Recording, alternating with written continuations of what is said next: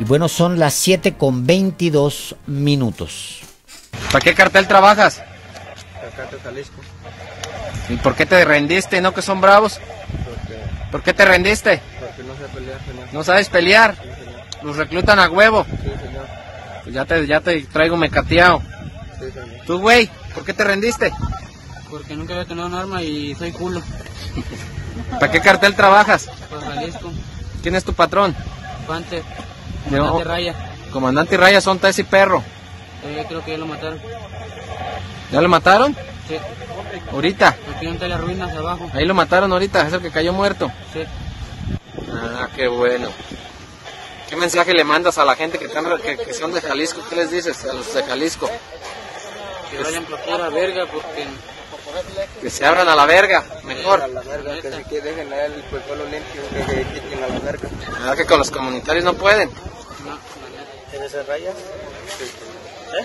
Ese que está muerto ahí es tu comandante. No, ese- es el compañero. Es compañero de ustedes, esa lacra.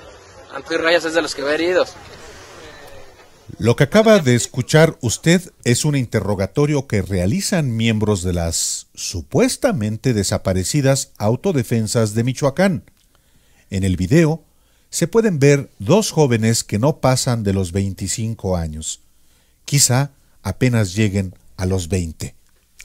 Los dos dijeron que el cártel Jalisco Nueva Generación los reclutó por la fuerza, algo que sucede en muchas comunidades rurales de México desde diciembre de 2006, cuando Felipe Calderón lanzó la guerra.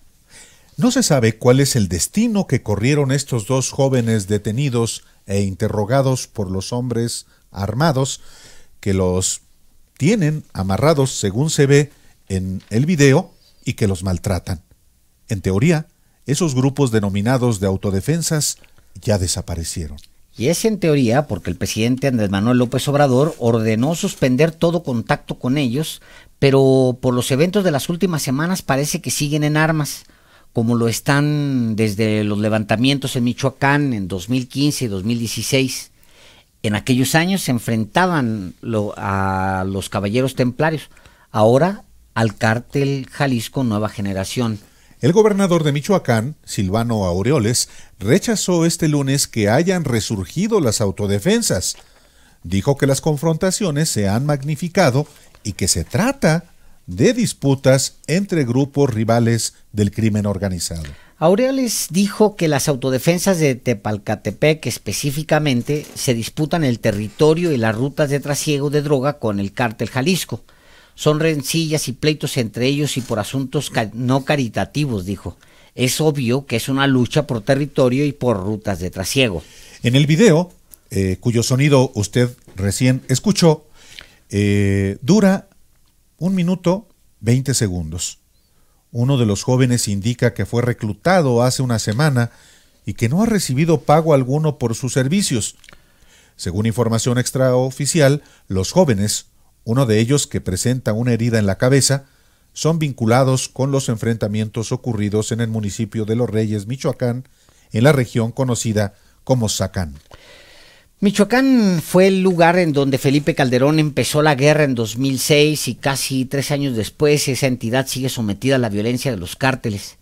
Pero la violencia es en todo el país, desgraciadamente. En agosto se registraron oficialmente 2.469 homicidios dolosos en México, lo que significa un promedio de 79, 79 asesinatos diarios. Sí, agosto es el segundo mes más violento en lo que va de 2019, solo por debajo de junio, cuando se registraron 2.560 homicidios. Los estados más violentos son Guanajuato, Baja California y tres entidades que sobreviven a la guerra de cárteles, Michoacán, Guerrero